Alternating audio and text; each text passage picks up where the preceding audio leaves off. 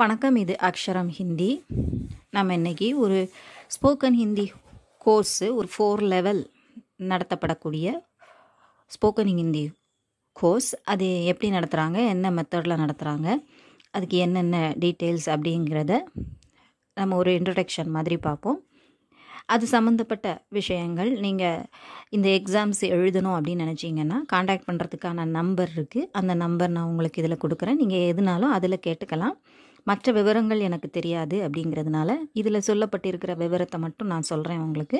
அதை வச்சு நீங்கள் உங்களுக்கு விருப்பம் இருந்தால் அங்கே காண்டாக்ட் பண்ணி நீங்கள் கேட்டுக்கலாம். ஸோ இதில் நாலு லெவல் இருக்குது பாத்கரோ அகாடமி அப்படிங்கிறவங்களால நடத்தப்படக்கூடியது. Spoken Hindi course English and Tamil medium மூலமாக நடத்துகிறாங்க அந்த புத்தகம் வெளியிட்டிருக்கிறது நாலு லெவலுக்கு புத்தகம் வெளியிட்டிருக்கிறாங்க. அதில் ஒவ்வொரு லெவலுக்கும் ஒவ்வொரு பெயரும் வச்சுருக்குறாங்க. சிம்பிள் தமிழ்லையும் இங்கிலீஷ்லையும் விளக்கம் கொடுத்துருக்குறாங்க. இதில் அவங்க குழந்தைங்களுக்கு பயிற்சி செய்வதற்கு அதாவது ஆக்சுவலாக இது எப்படி சொல்லியிருக்காங்கன்னா school children to senior citizen சொல்லியிருக்கிறாங்க. ஸோ வயது வரம்புங்கிறது இல்லை. பள்ளி குழந்தைகள்ல இருந்து வயதானவர்கள் வரையும் நம்ம படிக்கலாம் இதை அப்படிங்கிறத சொல்லியிருக்கிறாங்க. அதோட நாலு விஷயத்தில் இவங்க கவனம் செலுத்துகிறாங்க ரீட் ரைட் அண்டர்ஸ்டாண்டு ஸ்பீக் அப்படின்னு. முதல்ல வாசிக்க கற்றுக்கோங்க எழுத கற்றுக்கோங்க அப்புறம் புரிஞ்சுக்கோங்க புரிந்து படிங்க அதுக்கப்புறம் பேசுங்க. அதாவது பேசுகிற லெவல் வர்றதுக்கு முன்னால் ஒரு மூணு லெவல் அவங்க பயிற்சி கொடுக்குறாங்க. ஸோ நாலு வகையான பயிற்சிகளையும் நம்ம இது மூலமாக நம்ம பெற்றுக்கொள்ளலாம் அப்படிங்கிறதையும் இதில் சொல்லியிருக்கிறாங்க. ஸோ அது என்னென்ன லெவல் நான்கு லெவலுக்கும் என்னென்ன பெயர் அப்படிங்கிறதும் இதில் சொல்லியிருக்கு. Level we have four courses அதாவது அந்த புக்குக்கு பின்னால் இது கொடுத்துருக்குறாங்க. கோர்ஸ் சம்மந்தப்பட்ட டீட்டெயில்ஸை சிம்பிளாக கொடுத்துருக்காங்க சுருக்கமாக கொடுத்துருக்குறாங்க. Level one to four namely Buniyadi Madhyamik Pravar Nipun அப்படின்னு சொல்லி. நிப்புண் வரும்போது எக்ஸ்பர்ட்னு ஆயிரும். ஸோ புனியாதி பேசிக்கில் இருக்கக்கூடியது மீடியம் பிரவர் அதுக்கு அடுத்த அதாவது ஹையர் லெவலுக்கு நம்ம வரோம். நான்காவது லெவலுக்கு முந்திய லெவல் அப்புறம் மெத்தட் ஆஃப் எக்ஸாம் என்ன அப்படிங்கிறது சொல்லியிருக்கிறாங்க. Exams are conducted in four steps for each level அதான் நம்ம ஏற்கனவே பார்த்த மாதிரி ரீடிங் ரீட் பண்ணுறதுல டெஸ்ட் வைக்கிறாங்க. ரைட்டிங்கில் டெஸ்ட் இருக்குது அண்டர்ஸ்டாண்டிங் எப்படி புரிஞ்சுக்கிறாங்கங்கிறதுல டெஸ்ட் வைக்கிறாங்க. அப்புறம் ஸ்பீக்கிங் அதுக்கப்புறம் பேச்சில் எந்த மாதிரி அப்படிங்கிறத சொல்கிறாங்க portion is given at the back of the book அப்படின்னும் சொல்லியிருக்கிறாங்க. ஸோ எந்த பகுதியிலிருந்து எக்ஸாமுக்கு கேள்விகள் கேட்கப்படும் அப்படிங்கிறதுக்கான அந்த பகுதியையும் புத்தகத்துக்கு பின்னால் கொடுத்துருக்கிறதா இவங்க சொல்லியிருக்கிறாங்க.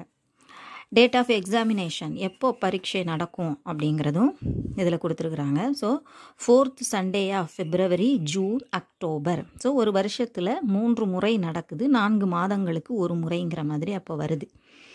இல்லையா? So negotiable if number of students is more than twenty அப்படின்னு சொல்லியிருக்கிறாங்க. ஸோ டுவெண்ட்டி ஸ்டூடெண்ட்ஸுக்கு மேலே இருந்தால் டேட்டு கொஞ்சம் முன்ன பின்ன இருக்கலாம். நம்ம வசதிக்கு கேட்டுக்கலாம் போல் இருக்கு. Only prescribed application attached with the book should be used so இதுக்கு பின்னால் ஒரு அப்ளிகேஷன் கொடுத்துருக்காங்க கொடுத்துருக்காங்க. நான் அதையும் காமிக்கிறேன்.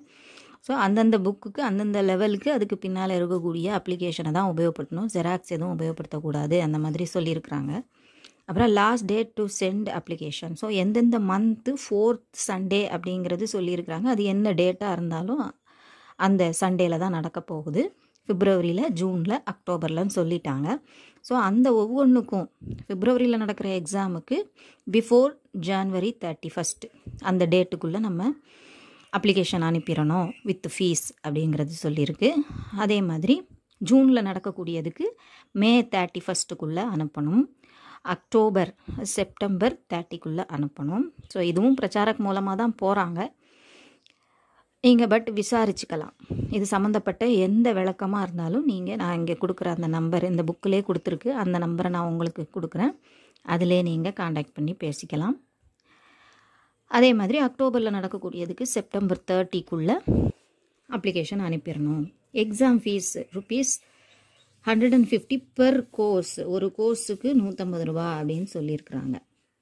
அப்புறம் எக்ஸாம் சென்டர் எப்படி அப்படிங்கிறதும் கொடுத்துருக்காங்க. Your institution if number of students is above twenty or nearby centre ஒரு சென்டருக்கு இருபது பேர் வர மாதிரி உங்களுடைய இன்ஸ்டியூட்டில் ஸ்டூடெண்ட்ஸ் இருந்தாங்கன்னா வச்சுருவாங்க. உங்களை உங்கள் இடத்தையே அதாவது உங்கள் இன்ஸ்டியூட்லேயே சென்டர் கொடுத்துருவாங்கன்னு சொல்லியிருக்கிறாங்க. Special permission for exam date அப்படின்னு கொடுத்து the date and month can be changed to your wish if the number of students sent by you is more. நிறைய ஸ்டூடெண்ட் அனுப்புனீங்கன்னா நீங்கள் வேறு உங்களுடைய விருப்பப்படி டேட்டு மாற்றி கேட்டுக்கலாம் அப்படிங்கிறத சொல்கிறாங்க ஸ்பெஷல் பெர்மிஷன் வாங்கிக்கலான்னு. அதுக்கான ரூல்ஸ் என்னங்கிறதையும் நீங்கள் அங்கே காண்டாக்ட் பண்ணி தான் கேட்டுக்கணும். நான் இதில் இருக்கிறது தான் நான் சொல்கிறேன் மற்றபடி எனக்கு தெரியாது. இது கண்டிப்பாக இது ப்ரொமோஷன் வீடியோவும் கிடையாது. இது நான் பார்க்க எனக்கு சந்தர்ப்பம் கிடைச்சிது இந்த புக்கு பார்க்குறதுக்கு. ஸோ அதில் இருந்த விஷயங்களை உங்ககிட்ட பகிர்ந்துக்கிறேன் அவ்வளோதான் தவிர. இது தவிர வேறு எதுவும் எனக்கு விவரங்கள் தெரியாது. நம்ம இதில் உள்ள பாடங்கள் நம்ம பார்க்க போகிறோம் அவ்வளவுதான். ஸோ இதில் கோர்ஸ் ஜாயின் பண்ணணும்னா நீங்கள் தான் காண்டாக்ட் பண்ணி கேட்டுக்கணும். Certificates a multi colour thick certificate with students photo is issued to all those who pass the exam அப்படின்னு சொல்லியிருக்கிறாங்க. ஸோ ஃபோட்டோவோட சர்டிஃபிகேட் இருக்கும் அட்ராக்டிவாக இருக்குங்கிறதும் சொல்லியிருக்கிறாங்க. ப்ரைஸஸ் அந்த சர்டிஃபிகேட்டுக்கான மாடலுமே உங்கள் புக்கில் பின் அட்டையில் சின்னதாக ஒரு ஓரத்தில் கொடுத்துருக்குறாங்க. அப்புறம் மெடல் கொடுப்பாங்கங்கிறது ட்ரோஃபி மாதிரி இருக்குது அதையும் காமிச்சிருக்கிறாங்க. கிஃப்ட்டு என்னெல்லாம் அப்படிங்கிறதெல்லாம் வேற சொல்லியிருக்கிறாங்க. அட்டைப்படத்தில் பின்னால் போட்டிருக்குது.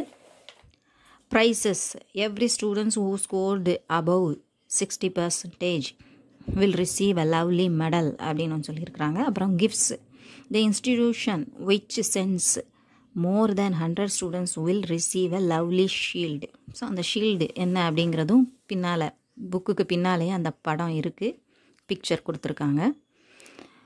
ஸோ நல்ல மார்க் வாங்குறவங்களுக்கு மெடல் கிடைக்கிது. நிறைய பேரை அனுப்புகிறவங்களுக்கு சக்ஸஸ்ஃபுல்லாக அனுப்புகிறவங்களுக்கு ஷீல்டு கொடுக்குறாங்க. சர்டிஃபிகேட் என்ன அப்படிங்கிறதையும் இதில் கொடுத்துருக்காங்க. பாத்கரோ அப்படிங்கிற பெயரில் சர்டிஃபிகேட்டு அதுக்கான பிக்சர் மாடல் அங்கே கொடுத்துருக்குறாங்க. ஸோ இதுதான் இந்த இதில் நாலு லெவல் இருக்குது. நம்ம இப்போ பார்த்த புத்தகம் முதல் லெவல் நம்ம வரக்கூடிய காலங்களில் இந்த பாடங்களை நம்ம ஒவ்வொன்றா பார்ப்போம். உங்களுக்கு விவரங்கள் வேணும்னா இதில் இருக்கக்கூடிய நம்பரில் நீங்கள் காண்டாக்ட் பண்ணி கேட்டுக்கலாம். நம்ம பார்க்க போகிறது பாடங்கள் மட்டும்தான். வேறு எதோ எந்த விவரமும் எனக்கு தெரியாது. ஸோ நம்ம பாடங்களை அடுத்த வீடியோவிலேருந்து பார்க்கலாம். இது உங்களுக்கு உபயோகமாக இருந்திருக்கும்னு நினைக்கிறேன். பிடிச்சிருந்தா லைக் பண்ணுங்கள் ஷேர் பண்ணுங்கள் சப்ஸ்கிரைப் பண்ணுங்கள் சப்ஸ்கிரைப் பண்ணி சப்போர்ட் பண்ணுங்கள் சப்ஸ்கிரைப் பண்ணாமல் இது வரைக்கும் தொடர்ந்து ரெகுலராக பார்த்துட்டு இருக்கிறவங்க சப்ஸ்கிரைப் பண்ணிக்கோங்க. நன்றி வணக்கம் தன்யவாத்.